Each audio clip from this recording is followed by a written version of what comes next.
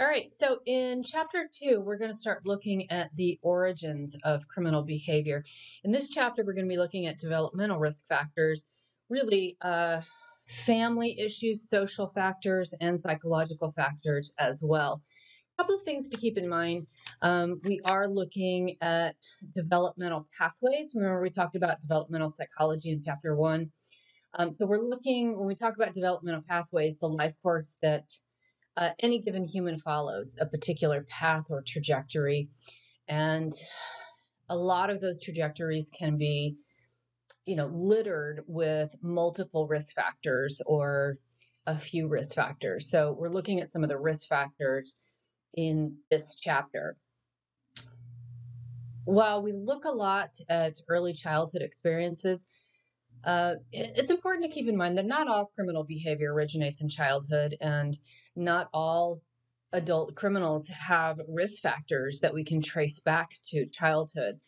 But there's pretty good correlations between these risk factors and antisocial behavior, delinquent behavior, and even adult criminal behavior. So, the risk factors that we're exploring in this chapter are again social, family related, psychological experiences that increase the risk that an individual will engage in again antisocial behavior delinquent behavior and unfortunately even sometimes those behaviors will persist into adulthood in criminal behavior. So the cumulative risk model suggests that when people have multiple risk factors that increases their risk. So the accumulation of risk factors um, increases a person's risk. Again, in other words, the more of these risk factors that are um, that are present in somebody's life in childhood, uh, the higher their risk for having trouble later on, especially if they don't have protective factors. Um, protective factors meaning, you know, good family, good parents, good um, good community involvement. Remember, we talked about being connected to something in childhood. Travis Hirschi said that. So uh, if we don't have a lot of protective factors and a lot of these risk factors are present, that increases the risk. So protective factors like a good family, having connection to school, to religion, to things you're interested can mitigate or eliminate the negative influence of some of these risk factors that we're going to look at. The dynamic cascade model emphasizes the interaction among the risk factors and their effects. Again, the more risk factors that are present, particularly in childhood, the higher the risk of having issues with um, behavioral problems that can turn into delinquency or even adult criminal behavior. So, looking at some of these social risk factors, poverty. Um, in some cities, up to 50% of children live in poverty, and there is a strong correlation of living in poverty to persistent violent crime. Poverty is often associated with diminished parental support because, uh, you know, impoverished parents might have to work more than one job. Um, giving them you know little time to interact with their children, little time to supervise children, um, also related to stress, poverty, and stress. Again, if you are, you know, worried about feeding your family, about paying your rent, about having multiple jobs, that obviously causes a lot of stress, uh, a lot of a lack of support, um, hard, uh, harsh parenting, parenting, parenting styles, and even discrimination. Um, so I, I said that 50% of children in some cities, it kind of depends on the cities, but overall, 20% of children in the United States live um, in poverty. And definitely there are cumulative effects. Uh, it's not just the poverty, it is that stress, it's the parenting uh, styles, it's diminished parental support, it is living in uh, dangerous neighborhoods. It's not having good schools. It's discrimination. It's a lot of other things. Not having good medical care um, not having good nutrition, all of those are factors that contribute and can increase risk. It's not just poverty. Poverty tends to be associated with some of those things as well. Um, so, again, intertwined with a large number of influences. We don't want to suggest that just living in poverty causes criminal behavior. That's not the case. There are plenty of people that grow up in poverty and, and never get involved in criminal behavior. But it, it, does increase risk because there are a lot of other things that tend to uh, accompany pod, uh, poverty racism, family disruption, divorce, single parenting, um, again, those dangerous neighborhoods, dangerous schools, not great schools, poor nutrition, joblessness, social isolation, um, problems with parenting, things like that. Um, so it doesn't cause chronic offending, but it increases the risk. Children from lower socioeconomic status class are targeted by law enforcement practices, um, particularly with minorities. Poor children are more likely to be formally involved with the criminal justice process, where middle class and upper class children, their parents might be able to kind of mitigate um, again, I mentioned in chapter one, sometimes when young people get involved with something like a property crime or, you know, damaging property, parents pay for the damage and the case never goes in front of the criminal justice system where lower income children their parents don't typically have that luxury of having the money to be able to do those kinds of things. Another one, peer rejection. This is a big one, um, especially early peer rejection. Uh, so peer rejection becomes, as we all probably remember, peers become more influential um, as we get a little older in childhood. Uh, one of the strongest predictors of antisocial behavior is early rejection by peers and or association with antisocial and delinquent peers. Kids that are rejected by their peers by second or third grade have a 50% chance of bad behavior as compared to only 9% of kids in those same grades who are not rejected. Um, so it is one of the strongest predictors of later involvement in antisocial behavior. Um, and also the quality of parent and child relationships and marital relationships does affect kids' behavior. And that can also lead to um, more rejection from peers. If kids that have harsh harsh parenting or they're not being monitored, that tends to lead to aggressive behaviors and bad behaviors. And those kids tend to get rejected by their peers because nobody wants to hang out with a kid who has behavioral issues. Kids that are rejected are rejected for a variety of reasons.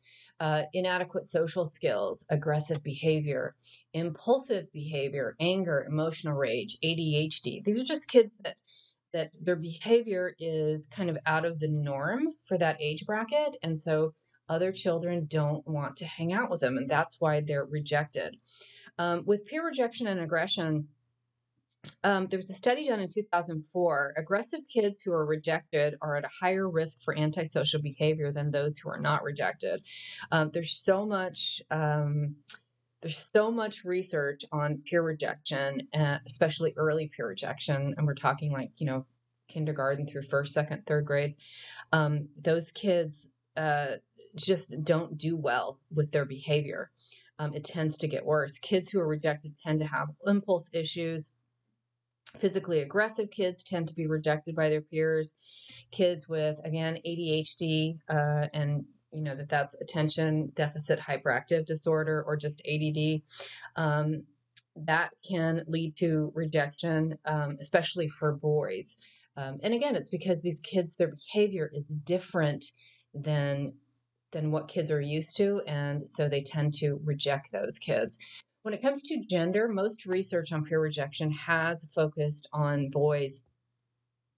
Um, early involvement in aggressive behavior with peers uh, tends to be um, again more with boys than with girls. Now with relation especially physical aggression uh, relational aggression is not physical it is kind of verbal aggression talking behind people's back um, talking about people.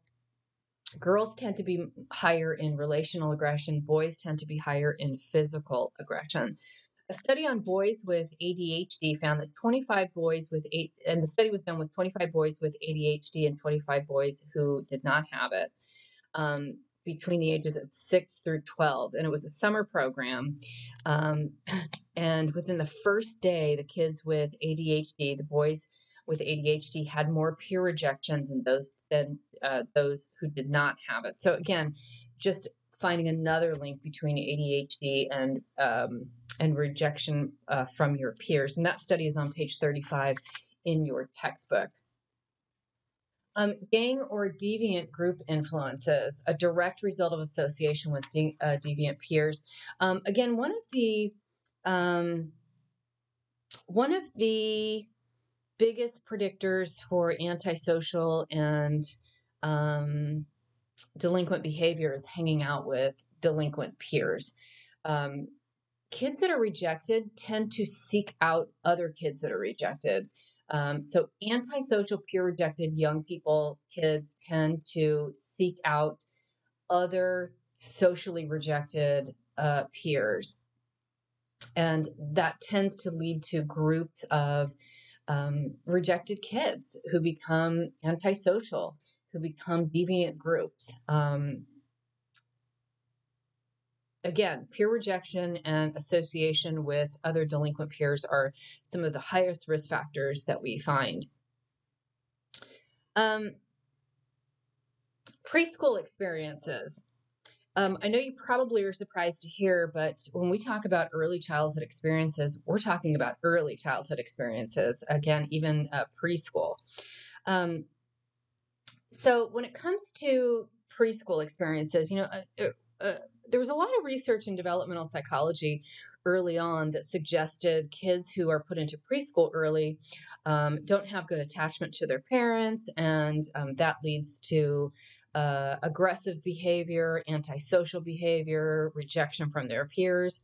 We definitely do have more kids who are in daycare today because most parents have to work. Both parents have to work. It's our, our culture is very expensive.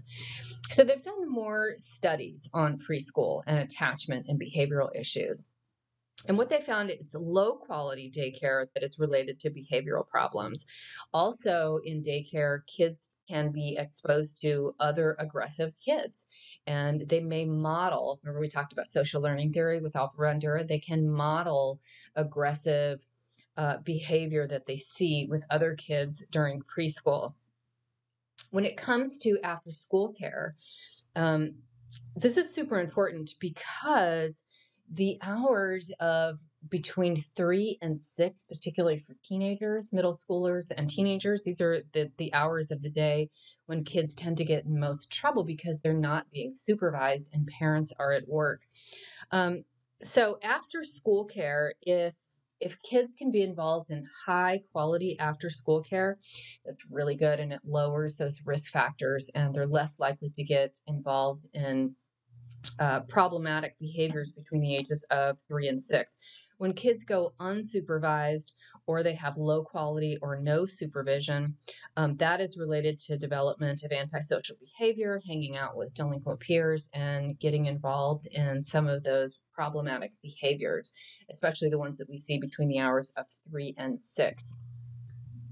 All right, another risk factor uh, is academic failure. So, early school failure is associated with delinquency and antisocial behavior.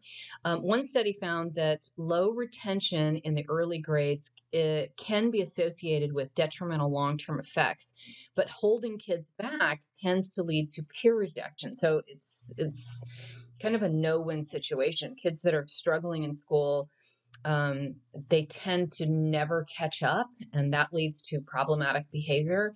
Um, but if we hold kids back to try to get them whole, you know, caught up, um, that tends to lead to peer rejection from their peers, and both of those can be problematic. Uh, really interesting studies on reading. Poor reading is related to school failure. School failure is related to later arrest, and later arrest is uh, related to delinquency. That's kind of that cascade effect that we were talking about earlier. Um, labeling, you probably heard of the problems with labeling. Uh, you know, if you attach a label to a child, uh, it tends to stick, and um, particularly with school related issues. So if if a child is labeled as you know you know, not being um, a good reader, not being good at verbal skills, um, being lower than normal. Those labels that get attached to that child follow that child through their public school. Um, teachers talk to teachers. These things get documented. Teachers read those things. So, um, you know, you can have a child that's labeled as being, you know, low in turn in certain academic areas, and then when they go to the grade the next year with a new teacher, that teacher ha- already has that information. So that teacher already has kind of an idea in her head that this child is low, and um, and it's because of that labeling. All right, parental and family risk factors may play a stronger role than a lot of other social uh, factors that uh, you'll be reading about. Um, single parent homes. In 2006, 26, 26% of children lived in one parent household. Um, households. Early research suggested that kids from broken homes was associated with delinquent behavior, um, suggesting that you know growing up in a single family home is a strong correlation of delinquent and or criminal behavior. Later research suggests that there are other factors involved. Remember how we were talking about poverty? It's not just poverty. It's not just being in a single parent household. Other factors are uh, important as well. So, the quality of the relationship with the child and the parent, of course, the parent parenting styles, the economic status, um, and degree of emotional support provided to the child by that parent and other families, uh, other family members. So it's the process rather than the structure that play a role. Socioeconomic status, child child parent relationships, family support. Um, children from conf- conflict free single homes are less likely to get into trouble than kids from intact conflict ridden homes. So the idea that staying together in a conflict ridden home is going to reduce your kids' risk as opposed to divorcing or parting ways um, is false. Kids that are in good, healthy single parent homes do better than kids in uh, where both parents are present, but there's a lot of uh, strife and fighting um, going on. So even though it's more than one factor, research still does suggest a connection between single family uh, home and delinquency, but it's just important to uh, remember that it is not just being in a single parent um, home, it is other factors as well. Now, when it comes to parental practices, these are behaviors of patterns that uh, parents engage in. So these are strategies that are employed by parents to um, to achieve specific goals for their children academically, socially, athletic goals, how well they're doing in school. I mean, it's across all different contexts and situations. Um, there are a lot of different parental strategies uh, that parents um, engage in, allowances, um, positive reinforcement, punishment, uh, and then there are parenting styles as well. So, parenting styles, this is a really uh, a topic that has been uh, studied quite a bit in um, psychology. And these are the parent child interactions characterized by parental attitudes toward the child and the emotional climate of the parent child relationship. So, it includes gestures, tone of voice, how um, how punitive the parent is, how flexible the parent is, all of those things are important. Now, the most influential theory on parenting styles is Baumrind's uh, four parenting styles. You'll see this one cited a lot. Um, so, uh, the first type is authoritarian. They try to shape, control children. They are inflexible parents. Uh, they have absolute standards. Um, it's really my way or the highway with authoritarian parents. Um, it's not considered to be the best style for children because parents aren't really flexible. Permissive. Permissive parents are tolerant, they're non punitive, they're accepting of all behaviors, they're, they're very loving. Um, but they don't have a, a, lot of structure or discipline. And kids actually need structure and discipline. So this one is not a great parenting style as well. Um, I'm going to skip down to neglectful. Neglectful, these parents are detached. There's little involvement. There's no support, no supervision, no attention, uh, no physical love, no nice words. And, you know, it's, it's just being completely detached from your child. This one has the strongest risk factor for delinquent behavior. Now, in most cases, uh, developmental psychologists believe authoritative parenting style is the best style. Um, these parents are rational, rational, flexible, loving, attentive. Um, they have reasonable social control, but and they have rules and regulations, but they're flexible about that. Um, they're also physically uh, affectionate, loving, attentive. Um, so in in general, this is the best uh, style. Now, one thing to keep in mind about parenting styles is that every child is different, and uh, it depends on what's going on in the child's life. So um, you might have a let's say you have a child who might have some addiction issues, and while trying to parent, you might need to be a little uh, more authoritarian.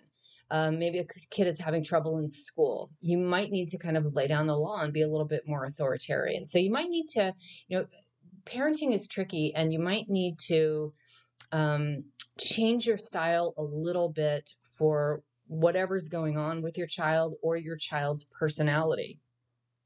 Um, the other uh, issue with parenting uh, that's kind of a newer topic in developmental psychologists is enmeshed parents. Um, you might have heard of the term helicopter parents. Um, they are are really hovering all over their kids and really highly enmeshed in um, their child's lives. Um, and and while that's a good thing, uh, you know, kids do need a little bit of space. So these kind of parents tend to see a large number of minor behaviors as problematic, um, and they tend to use ineffective authoritarian strategies to deal with them. And they tend to uh, not use punishment correctly. They're they're just not. Um, they're just way over involved and uh, a little over punitive. We talked about um, the permissive parenting styles and how uh, being permissive is is not a good thing. Kids need rules and regulations. So kids, parents that are lax, um, it's not a great thing. Um, kids that don't have rules and regulations or parents that are involved or show that they care or that they don't discipline their kids when they get out of line um, it's not a great thing. So being permissive or lax is not a good parenting style. Now, the other thing that we look at with parents is monitoring. So this is similar to Baumrind's theory, um, but it's looking at how how involved parents are in terms of being aware of what's going on in their child's life. Are they aware of their relationships? Are they aware of what's going on during their free time? Do they know where they are? Um, monitored young people, monitored kids. In other words, their parents care about where they are, what they're doing, what they're doing during their free time, who they're hanging out with. They're on top of where their kids are. Um, kids that are monitored, and again, this is having rules and regulations, are less likely to participate in drug and alcohol or engage in delinquent behavior, particularly in the school, uh, the middle school years. Um, so again, having rules and regulations, being authoritative is considered to be the best parenting style. Um, being loving and caring, flexible, rational, having rules and regulations, kind of staying on top of what your kids is, are doing without being over enmeshed and overly critical is the best style. All right, with siblings, um, kind of uh, the same one we talked about. Um, when we talked about young uh, people and the influence of peers. Growing up with siblings in the house, you can have uh, modeling. Remember, we talked about imitation social learning theory. So you can learn a lot of your behaviors, even delinquent, antisocial, and criminal behaviors from your siblings. We also see a lot of conflict between siblings. Um, most of you who have siblings probably you know have engaged in some type of conflict um, but adolescents with high rates of delinquency are also more likely to have siblings with high rates of delinquency, um, uh, contributing to our idea about uh, social learning theory.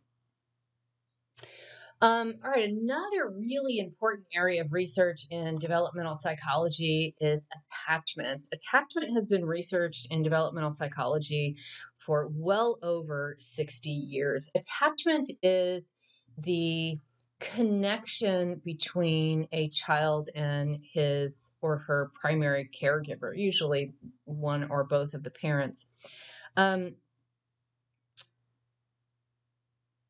the research that's been done on attachment has shown, and, and again, we've been doing this for a long time, um, has shown that there are a couple of different attachment styles.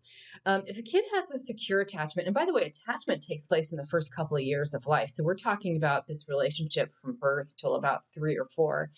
Um, a secure attachment um, is what we're looking for, where the kid and the parent um, became attached to each other. There was a bond created during infancy, and that bond um, has stayed. Once that bond is in place, that really uh, helps kids develop a sense of trust for relationships. And kids with secure attachment tend to be um, teenagers with secure attachment, and they tend to be adults with secure attachment.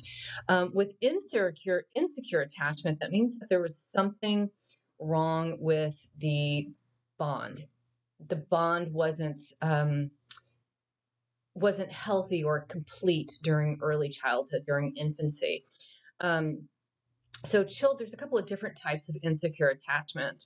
Um, children with avoidant attachment often have trouble forming uh, intimate relationships. That's friendships and adult intimate relationships. Uh, anxious, ambivalent children often become obsessive and preoccupied with relationships. Some research suggests sex offenders demonstrate avoidant attachment, and other research suggests most offenders have avoidant attachment. So there's been a lot of research um, on uh, adult criminal offending and these insecure attachment styles. Uh, these insecure attachment styles that, that develop into adulthood um, are also related to abusive relationships. So, very interesting and very important uh, area of research in developmental psychology. Um, psychological risk factors. Uh, lack of empathy. This is at its core um, what we find in what's called conduct disorder and antisocial personality disorder in adulthood. So there's two dimensions of empathy um, the cognitive uh, dimension and the affective. And affect means emotion, by the way. So, um, cognitive is the ability to understand another person's point of view. People that don't have the ability to feel empathy are unable to to feel or see another person's point of view. Um, they don't have the ability to feel sympathy empathy, compassion, guilt, shame, or remorse. And those are super scary things. Um, affective, uh, the affective is emotional response and concern. And again, uh, understanding another person's emotional responses, their perspective, and an inability to feel guilt, shame, and remorse, all of those things. So, uh, deficiencies in empathy considered to be characteristic of persistent, aggressive, and antisocial behavior. Um, it begins early in girls. By third grade, all kids low in empathy tend to be even lower by eighth grade. So, this is something that tends to develop early in childhood and gets worse as kids get old. Um, Deficiency in affective empathy, that's the emotional empathy, appears to be most strongly related to violent and persistent criminal behavior.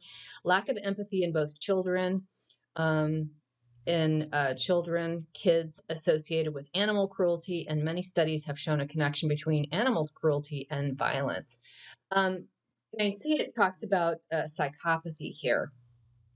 Psychopathy is um, is a behavioral pattern. It's not a clinical diagnosis. The clinical diagnosis would be antisocial personality disorder, um, and then this behavioral pattern of psychopathy. And the the core foundation for psychopathy is a lack of empathy. So lack of empathy, sympathy, um, an inability to feel guilt, shame, and remorse, um, to feel compassion for other people. People they're just void of the ability to feel these things. Um, I talked a little bit about um, uh, early risk factors associated with school failure, and that is related to cognitive and language deficits. So we do find an increase of antisocial uh, behavior in boys that have cognitive and language deficiencies. A Swedish study that was done in 1993 found that poor language development in second grade was statistically significant predictor of adult criminal behavior. Another study in 2004 um, found boys with language development issues at five tended to have delinquent behavior at the age of 19. Um, so, uh, one of the things associated, prop, uh, particularly with language deficits, um, when people don't know how to express themselves properly with language, um, that does lead to aggression and physical responses. So you can't speak um, or communicate uh, effectively. And so you turn to aggressive behaviors, particularly physical violence. So we do see self control and self regulation issues, obviously, uh, going to be related with academic performance. And we talked about the problems with school failure. Um, if somebody is having problems with uh, with their cognitive skills that are, interferes with their ability to problem solve, um, and to um, effectively socialize and get along with other people. So, those are definitely risk factors. Intelligence, so we're talking about IQ scores. Um, Travis Hirschi, who we talked about uh, in the last chapter, along with Hindelang, uh, in 1977 did a study found delinquents as a group do tend to score lower on IQ test. Um, he found there's an indirect relationship. Uh, low IQ tends to lead to poor performance in school, and poor performance in school tends to lead to a bad attitude about school. Remember, this is that cascade effect. So having a poor performance and a bad attitude about school tends to lead to school failure which tends to lead to uh, both peer rejection and delinquency, and that can lead to criminal behavior later on. Um, with high IQ, there is a good performance, a, a, sorry, a correlation between high IQ and good performance and attitude about school. That tends to cascade to um, uh, internal acceptance of norms and values of culture and school. That tends to cascade to non delinquent behavior. So definitely a relationship uh, between IQ scores and delinquency, and by relationship I mean correlation. Um, all right, another psychological risk factor, and I've mentioned this a few times, and that is ADHD. That is attention deficit hyperactive hyperactivity distor- uh, disorder. This is the leading psychological diagnosis for children in the United States. We actually have more cases of ADHD here in the United States than any other country in the world. Think about that for a minute. Um, the symptoms of ADHD inattention. So they're not able to sit and listen and they're easily distracted, impulsive behavior. Um, they act before thinking. Um, it's kind of one activity to the next. So they can't focus, they can't sit still, they tend to be impulsive with their behavior, excessive motor activity, again, can't sit still, if they fidget. You can see where all this would be problematic in a classroom. 7.8% of school age kids have been diagnosed with ADHD, uh, mostly boys, and uh, again, it's a largely a disorder of self control and emotional regulation, and it is uh, definitely associated with peer rejection, which we talked about how peer rejection increases risk. So, boys with ADHD have an increased risk for delinquent and antisocial behaviors. Oh, before I get to that, um, there are some estimates that a quarter of all children with ADHD engage in antisocial behavior during childhood and adolescence, and even criminal behavior during adulthood.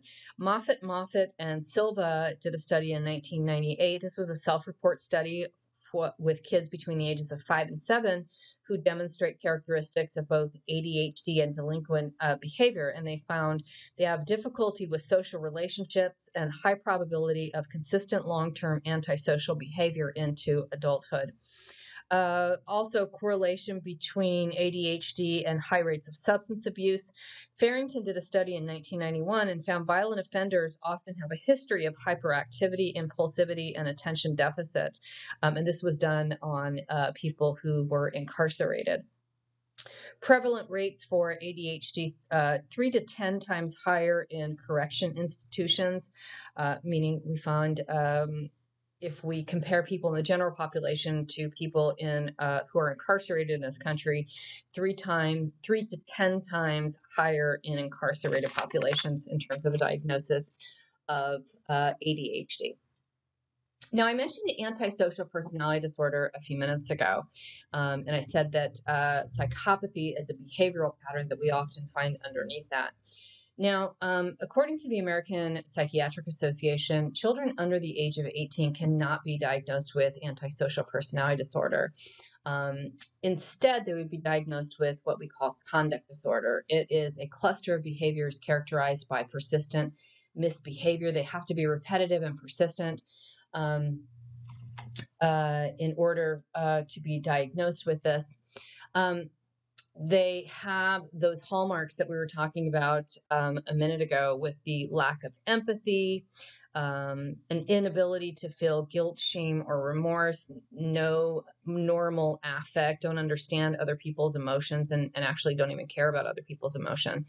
Um, this is a diagnostic label most often placed on young people appear before the juvenile courts. And unfortunately, um, there is a high correlation if a juvenile, because this is serious uh, delinquent behavior, um, if a juvenile is diagnosed with conduct disorder, um, there's a high correlation that they will go on to be diagnosed with antisocial personality disorder once they turn 18.